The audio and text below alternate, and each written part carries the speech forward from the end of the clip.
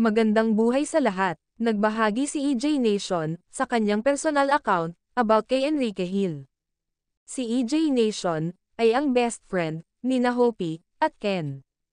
Ayon kay EJ, BTW I hang out with Kay nito and Bubat the other day and Ken showed me some his new collections. Grabe sobrang solid. These are some of his collections.